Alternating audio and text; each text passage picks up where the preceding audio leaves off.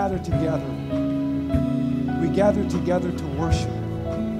We come together to see what God will do in our midst. We come together and we lift our hearts and we lift our voices.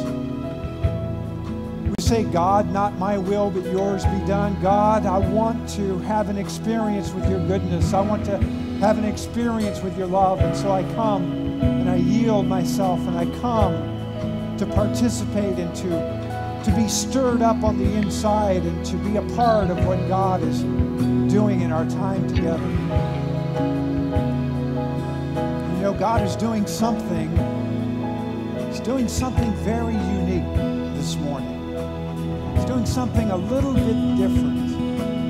So I just want to encourage you to have your antennas up and not the mode of, well, okay, when are we going to get on with the announcements and when are we going to follow the routine? Because, you know, if we do that, we may miss out on the very thing that God wants to do.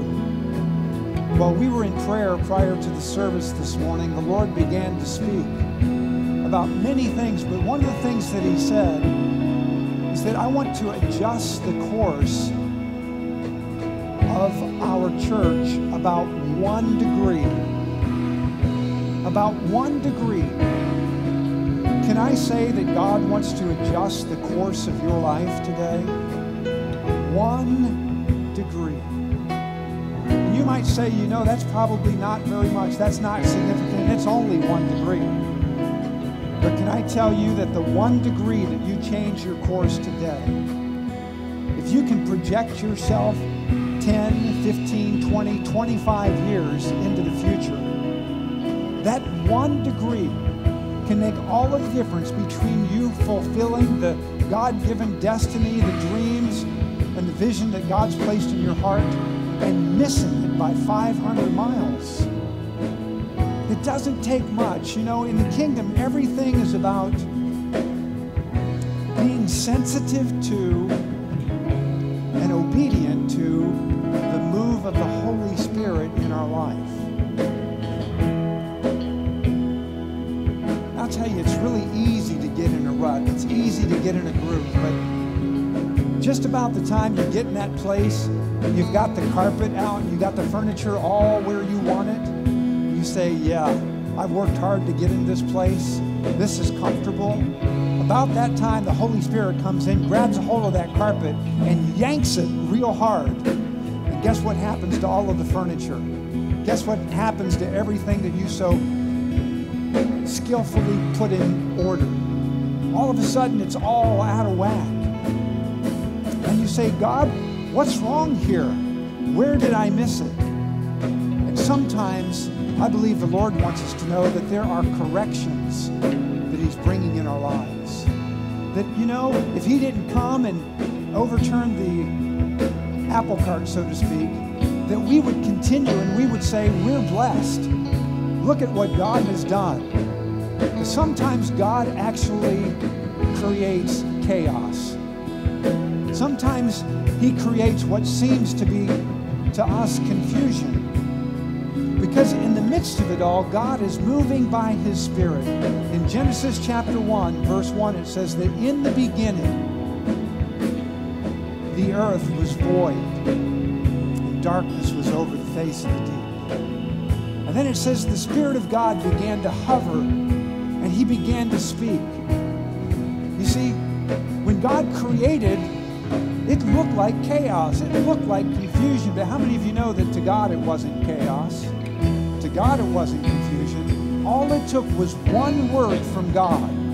One word from God to bring absolute, total, and complete order out of chaos.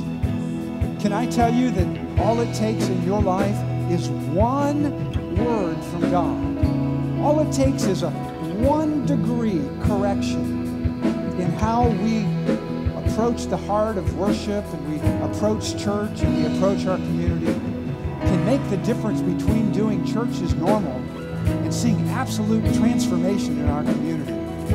Many of you believe that? Amen. So I am just open this morning. I'm just really, really open to what the Lord is saying and what the Lord is doing. The Lord led me to this particular passage in the book of Acts, chapter 2 and verse 1. It says, When the day of Pentecost had come, they were all together in one place. Know, I was really excited because I know the next verse. The next verse says, And suddenly there came from heaven a noise like a violent rushing wind, and it filled the whole house where they were sitting. And there appeared to them tongues as of fire distributing themselves, and they rested on each one of them. But the, you know what? The Lord said, Don't go there. Stop at verse 1. Verse 1.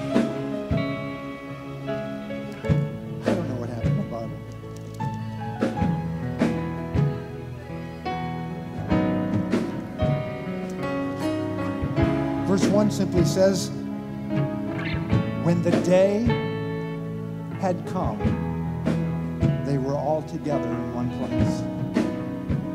For them, it happened to be the day of Pentecost. For us, it's February the 28th, 2016. It's the day. Today is the day. Okay? Do you believe that today is the day? Today is the day in your life. Most of us think the day is tomorrow, which is leap day, by the way. But most of us always think the day is someplace in the future. What if the day in your life were today?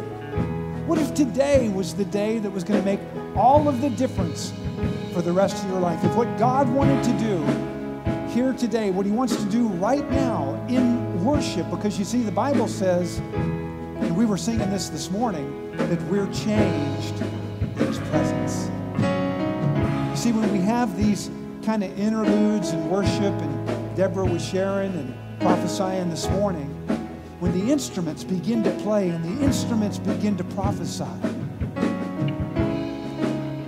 what does your heart do? Does your heart begin to prophesy? Does your heart begin to open up to hear what thus saith the Lord to you in your spirit?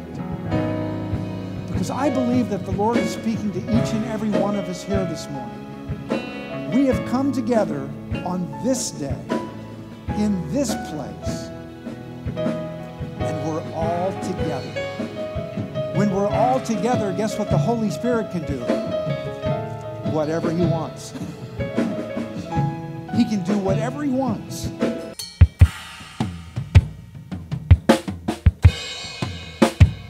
I don't know how recognize, but towards the end of worship, the instruments began to prophesy. Could you sense it? Could you feel it? Not a word was being spoken, but the instruments came alive and began to prophesy. They began to prophesy life to you and life to me in this body. So, what is the suddenly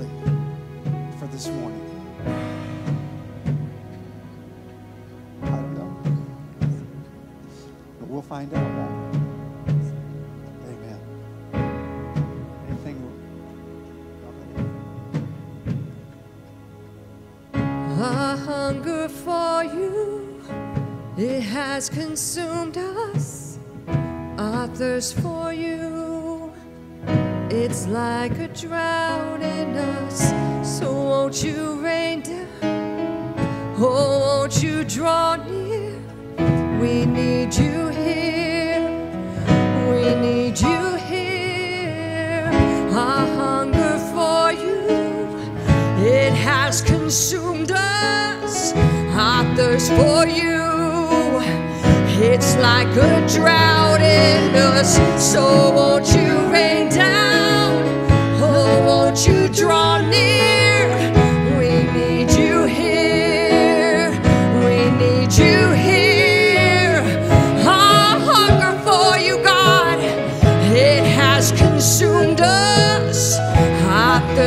You. It's It's like a drought in us, so won't you rain down?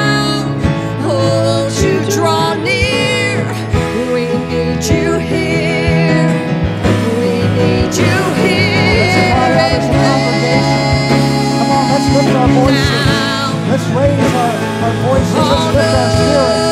Let's cry out to the living God. Rain down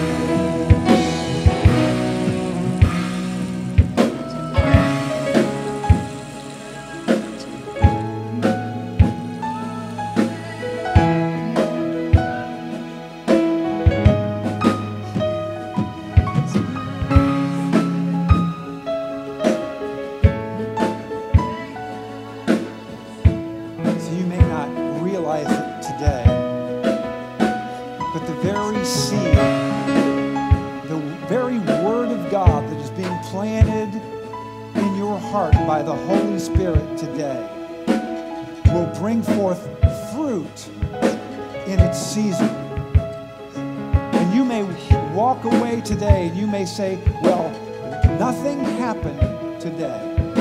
I didn't see anything. I didn't feel anything. It was a little bit different here this morning. But can I tell you this? That it's in these moments and in these times where the Holy Spirit comes and He uses the foolish things of this world to birth something that will so radically transform our lives, so radically transform our church, so radically transform our community. And you know, we're not going to be able to say, well, you know what? We had this great teaching or we had this awesome worship team. The only thing that we're going to be able to say is we serve a mighty God. We came together in one place on this day and we worshiped God. It wasn't about how good the music was. It wasn't about how much revelation there was in the teaching. It was a time where we humbled ourselves and we just came together to worship, to lay down our, our dreams, lay down our lives, to offer ourselves as a living sacrifice before the living God, to say, Holy Spirit, God, as we gather together in one place on this day, God, stamp your print in our lives. We don't ever want to be the same. God, I believe that because of what you're doing in this place today, Lord, that our tomorrows will be richer. The presence of the Lord in this place will be fuller. That there will be a prophetic voice that rises up in this house that permeates our worship, that permeates the congregation, that permeates the preaching, that the very Spirit of God and the anointing of Jesus, the apostle, the prophet, the evangelist, the pastor, and the teacher, the Holy Spirit in all of his gifts, in words of wisdom and words of knowledge, and special faith, in miracles and healing and discerning of spirits, in tongues and interpretation, in all of the gifts of the Spirit. God will show himself in his power, in his splendor, and his might. Because we raise up a standard in this house a standard of the love of God, our love for Him, based on a revelation of His love for us, who will absolutely revolutionize our lives, our church, and our community. Hallelujah. Hallelujah.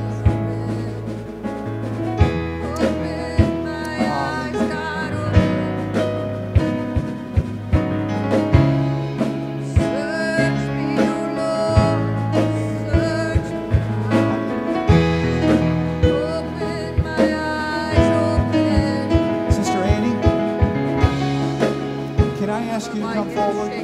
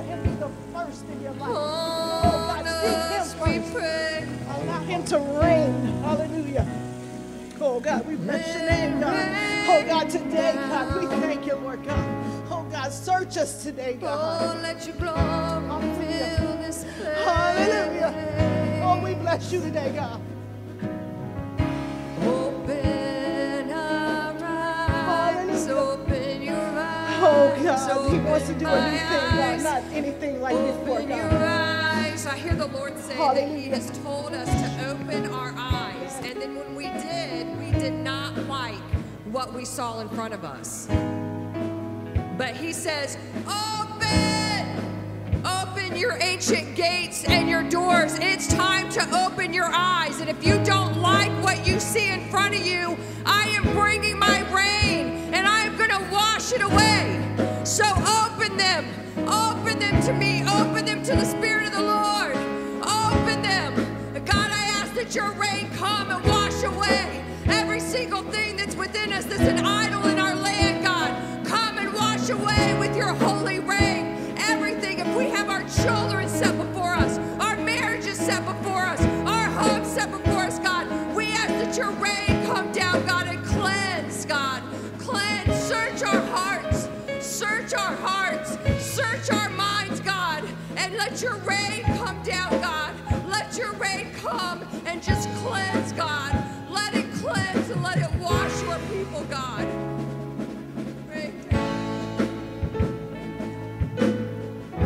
I'm going to ask the Lord right now to baptize us as a church. We had a um, we had a movie night on Friday night, and it was absolutely amazing. The Spirit of God came in this place. We just put a little sign out on out up the road. We put a little message on Facebook. And Pastor Andrea came in and put down a couple extra three rows of seats. I'm saying, God, I don't think we'll need it, but okay. And we had a lot of problems with projectors and screens, and you know, we were just really attacked on a lot of different levels. And then about Friday, about 7:10, I was ready for it to be over. the warfare that had led up to it. I didn't even know it was warfare. I just thought it was a bad day. But all of a sudden, the doors began to open. People began to come in. I don't even know where they came from. But the place started to fill up. At first, there were five or 10 or 15. And I thought, wait, that's good. I don't care if anybody comes. I love this movie. I'm going to enjoy it. And one by one, people kept coming in. Until right before we started the movie, I didn't count, but there were close to 100 people here. We had to put extra seats out. Not only did we fill up everything that was here, but we had to put everything that we had. We had people standing in the back. And the Spirit of God came and touched hearts and lives. One young man gave his heart to the Lord, and an eight year old girl was baptized. The Lord began to speak about his desire. Do we really believe God can change our community? Do we really believe that the movie that we saw was it just a movie about a great football player? Or was it a movie about a great God? Was it in God's time to invite a football team to be a part of creating a story that would give glory to Almighty God for generations to come. And for God to use that story to ignite a fire in our community. Because God wants to do something. It's not a matter of us figuring it out and saying, God bless what we're doing.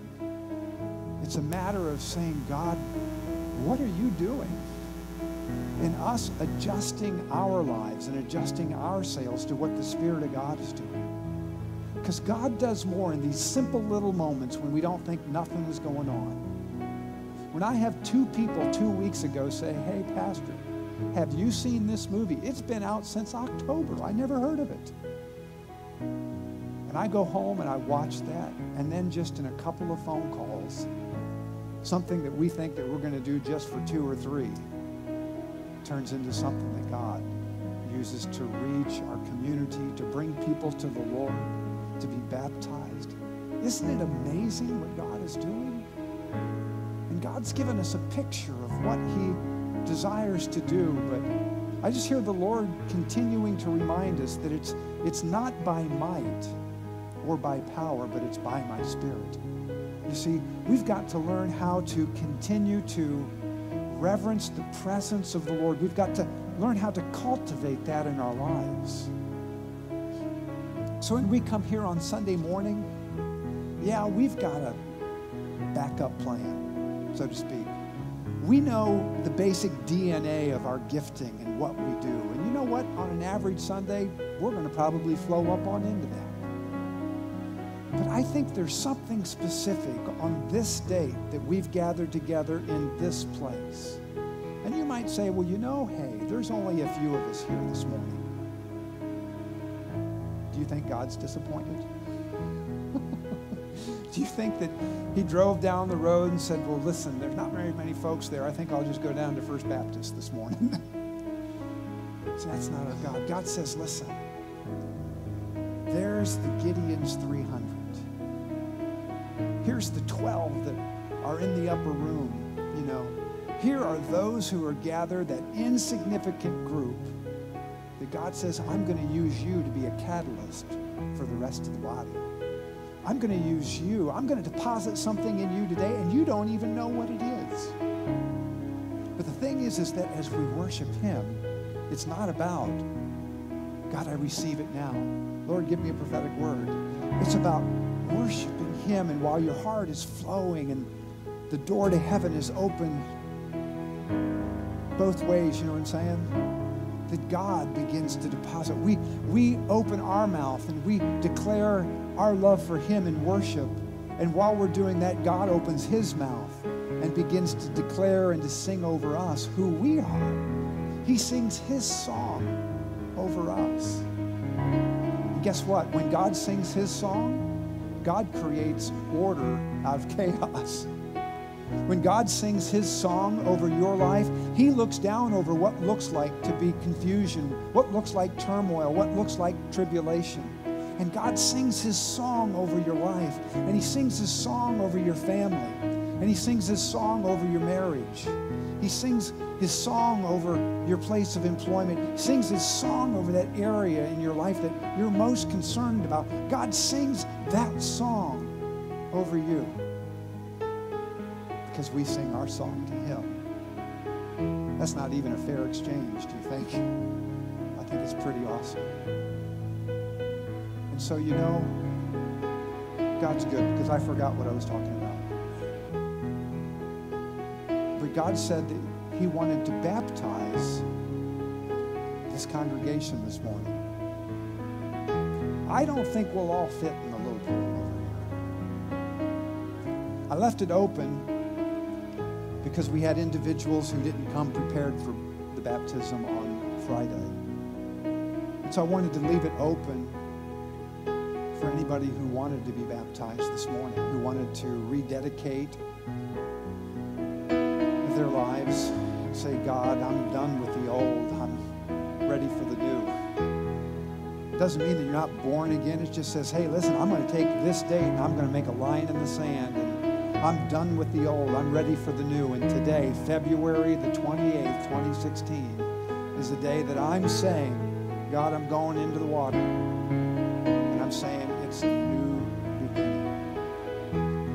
I'm we're open to doing that for you as an individual if you'd like, but I would like to do something symbolic as a congregation. Can I get everybody to stand? When I jump in the pool, I generally don't jump in on my knees or in a seated position because I'm in over my head right from the start.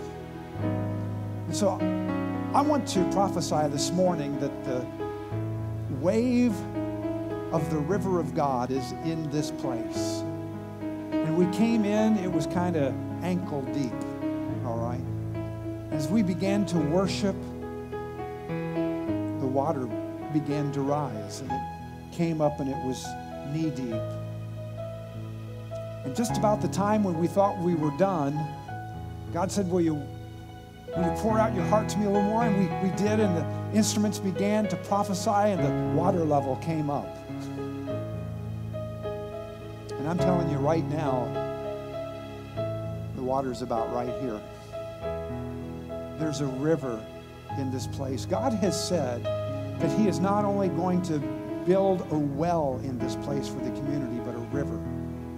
A river is going to flow from this place out into the community. And we had an apostle from Africa here in 2011. September the 11th, 2011. We rededicated the land and the property, and the apostle began to declare a river that God was going to bring from this place and it would flow into the four corners of the world. And it's a river in the spirit. So you see, we've got natural water, but there's spiritual water. And so want to invite you to represent River of Love Community Church this morning. I want to read a scripture out of Romans. And what we're going to do, since we can't all hop in the baptismal, is we're going to go from here and we're going to get on our knees. And as we do, that's going to symbolize our baptism. Okay. We're going to be in over our heads. Cool. Always want to get in over my head. That way it's not about me, it's all about Him. Amen.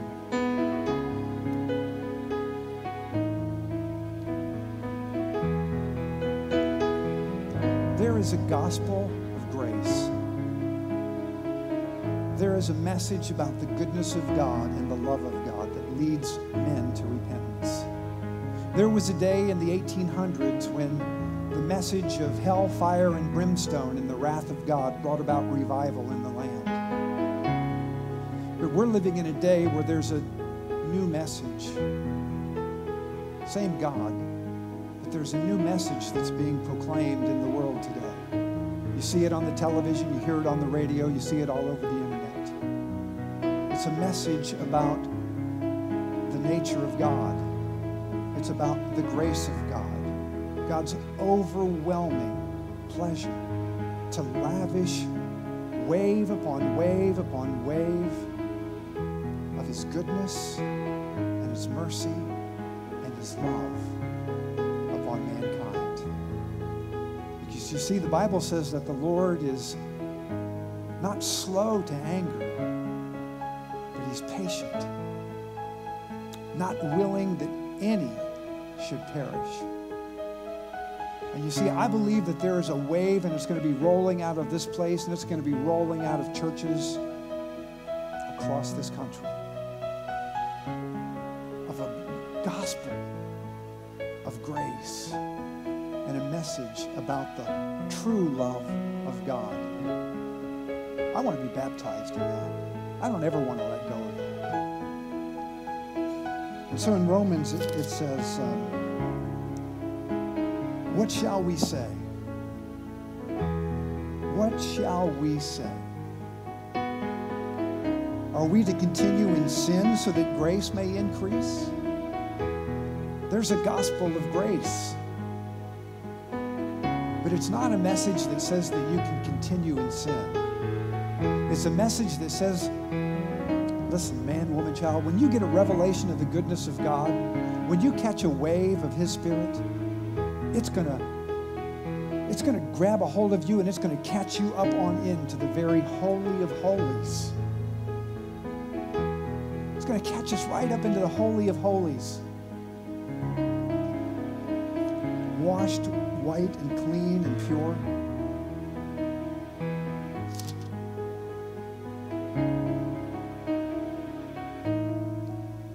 Do you not know that all of us who have been baptized into Christ have been baptized into his death? Therefore, we have been buried with him through baptism into death, so that as Christ was raised from the dead through the glory of the Father, we too might walk in newness of life. I'm telling you, if you've been born again, if you've been walking with God for a season in your life, and you've experienced newness, I'm going to declare to you today, you ain't seen nothing yet. You ain't seen nothing yet. God is getting ready to pour out His glory, and in the same way that Christ was raised from the dead, after what seems like three days and three nights of the most agonizing time that you've ever experienced in your life, suddenly, on a particular day, the angel came down and rolled away the stone. And the Holy Spirit blew into that grave. And life, life was declared from the Father in heaven. And what looked like was dead came back to life. And it wasn't just, hey, I'm alive a little bit. It was a glorious life. It was a life that was so far exceeding anything that one could ask or think that it changed the very course of all of history. And all of history marks itself from the resurrection of Jesus Christ. Can I tell you that Jesus is coming again? And the Bible says that as it was in the days of Noah, so shall it be when he comes again. People will be marrying and be given in marriage. They'll be running about and doing their thing and lavishing upon themselves the, the pleasures of this life. And suddenly, just like when the waters flowed and lifted up Noah in the ark, there's a wave that's coming. There's a wave that's coming. And it's going to catch us all up into glory. And we're going to be with the Father and the Son and the Holy Spirit forever and ever. But before that huge wave comes, there's some waves that the Lord wants to bring forth in the earth. Let's go ahead and get baptized. Resurrection life.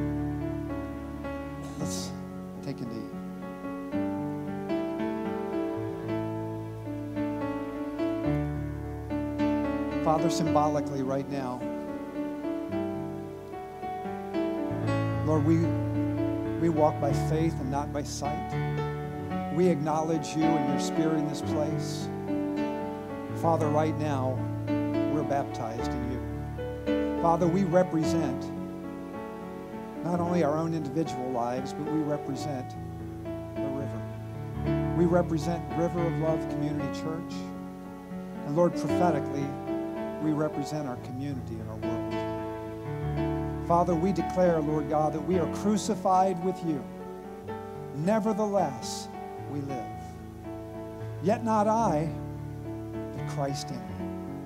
And the life that I now live in the flesh, I live by the faith of God who loved me and gave himself for me. Father, here this place, Lord, as we are immersed in your spirit, God, I ask you to, Lord, as we stand, I ask you to bring forth a new thing. I ask you to pour out your spirit, Father. I ask for resurrection life to be manifest into every one of our lives. Not just our lives, but our entire congregation, those who are here and those that you're calling. Lord, we ask for our community. Lord, this Tuesday is an election day, and right now, Lord, we want to declare that you're the winner. You're the winner. We elect you. You are the president of our lives. Doesn't matter, I mean, it does, but the most important decision is who sits upon the throne of our heart. Lord, we declare that you do.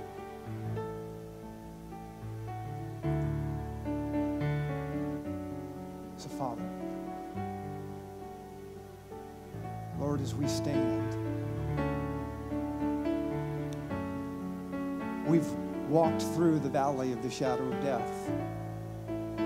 Lord, we declare that we're alive right now. Lord, we declare that there's life in this place, Father. We declare that your seed has been planted in us, Lord, that your spirit is blowing upon us. God, there's a work in the spirit that you've done. You've rolled away the stone. You've rolled away the stone. And Lord, your declaration to us is come out. Come out of the grave. Take off the grave clothes. Walk out. Begin to take this new life for a ride. Because you're not alone. Christ said, I would never leave you, I would never forsake you. I will lead you and I will guide you in the way that you should go. And there'll be times of pruning, there'll be times of cutting back. But it's all because you are my fruitful vine. And I desire to bring much fruit, and I have planted you in the rich soil of this community and this church. And you will look in the days to come, and you will see the fruit of that which I have done in this place today. You will see it, and you will wonder at my goodness. You will wonder at my grace. You will wonder at my love. For I will continue to lavish you with an abundance of goodness and mercy and love. Wave upon wave will continue to pound upon your life as I sculpt and I form and I shape the vessels of honor that I have called you to be. For my gifts and my callings are without repentance. I am the Lord, and I am the one who has called you to this place, and I do not repent. I will take you out of the ashes. I will take you out of the grave, and I will take these very things that the enemy sought to destroy you with, and I will cause them to be the very stepping stones into a greater glory than you could ever think or imagine. Only trust in me. Trust in me with all of your heart, and lean not to your own understanding but in all of your ways acknowledge me. I will direct your path. And that good work which I have begun in you today, I will bring forth to maturity.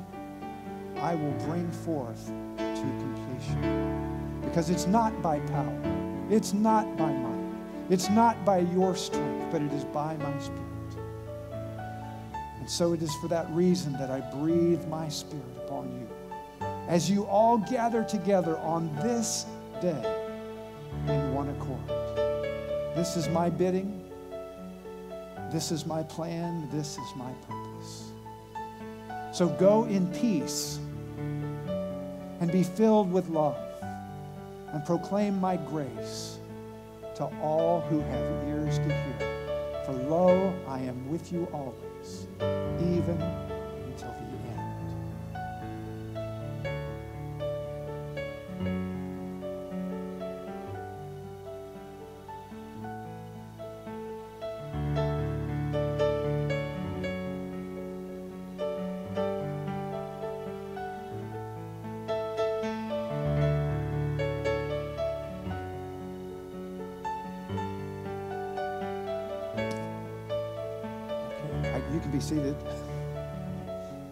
one thing that is so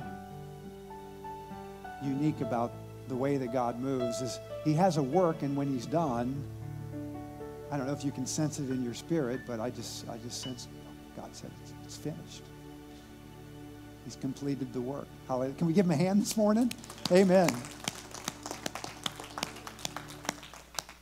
You know, you can't orchestrate services like this. All of what has taken place today has come about as a result of prayer, the orchestrating of what God has been doing through the week, what God has brought forth in prayer and prophetically through worship, and the people that He's gathered together this morning. Amen. Aren't you glad to be a part? Amen. It won't be like this next Sunday, it'll be different. Okay? How many of you feel like we had a one degree change this morning? Amen. I think I got maybe 10 degree. Okay? The Lord had me stretching out in some areas that I haven't uh, stretched out in in a while, but you know what? I'm so thankful. I want to I want to flow with the Spirit of God, you know. And I'm so thankful for what God is doing in this church. I am not interested in doing church program. We serve a living God who walks in relationship with us, and man, I'll tell you what, I want to walk lockstep with him all the way. Amen.